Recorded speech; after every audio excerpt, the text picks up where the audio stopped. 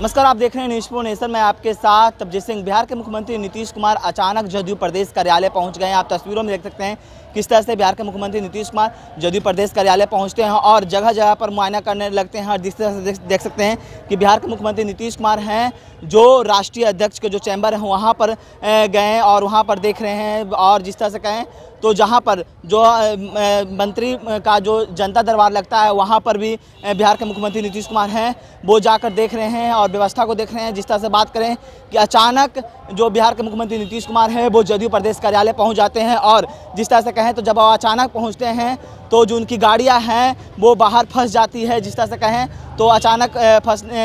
पहुँचने के कारण जो ट्रैफ़िक है, वो लग जाती है और बिहार के मुख्यमंत्री नीतीश कुमार को गेट पर यदि प्रदेश कार्यालय के गेट पर ही रुकना पड़ता है, जिस तरह से कहें तो वो अचानक प्रदेश कार्यालय मुआयना करने पहुँचते हैं और जिस तरह से देख सकते हैं कि जो उनका काफिला है, वो अभी तक जदयू प्रदेश कार्यालय से निकल रहा है जिस तरह से कहें तो जो उनका कारकेट है, वो फंस गया है प्रदेश कार्यालय के ठीक बाहर, क्योंकि जिस तरह से कहें तो अचानक जब वो प्रदेश कार्यालय पहुँच गए हैं तो जो ट्रैफ़िक व्यवस्था है, वो नहीं बंद किया गया था और बिहार के मुख्यमंत्री नीतीश कुमार जदयू प्रदेश कार्यालय के बाहर ही फंस गए हैं। जिस तरह से कहें तो अचानक वो प्रदेश कार्यालय पहुँचे और जगह जगह मॉनिटरिंग करने लगे थे और जब वो प्रदेश कार्यालय से निकले तो जो उनके का, कारकेट है वो देख सकते हैं आप विजुअल के माध्यम से किस तरह से फंसा हुआ दिख रहा है। काफ़ी लंबे समय तक जो कहें तो बिहार के मुख्यमंत्री नीतीश कुमार फंसे रहे और जिस तरह से कहें तो लग अचानक वो प्रदेश कार्यालय पहुँचते हैं प्रदेश कार्यालय में जगह जगह पर मॉनिटरिंग करने लगते हैं और राष्ट्रीय अध्यक्ष के चैम्बर में जाते हैं